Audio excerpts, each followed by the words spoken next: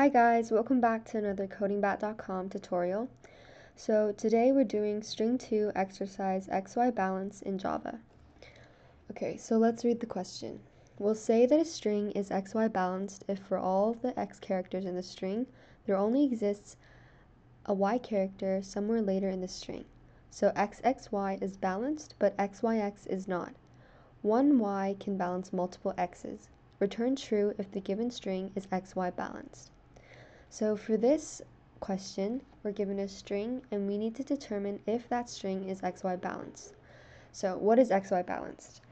xy balanced means that for the last y character in this string, there can no longer be any x characters after that last y character.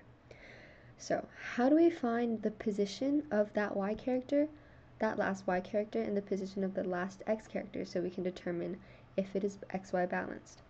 So we can use the last index of method, which is a string method that you can use to find the last index of said character. So we're going to store this last index value in an integer variable. So I'm going to name mine last x and use the index method to find the character x. And create another variable to hold the last index of the last y character.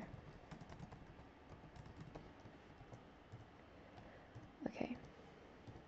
And remember, we return true if the string is xy balanced. And the string is xy balanced if the last index of the last x character is less than or equal to the last index of the last y character.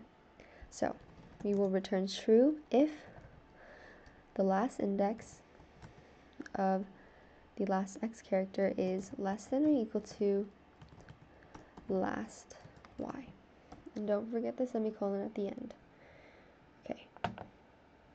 Yep, we got it.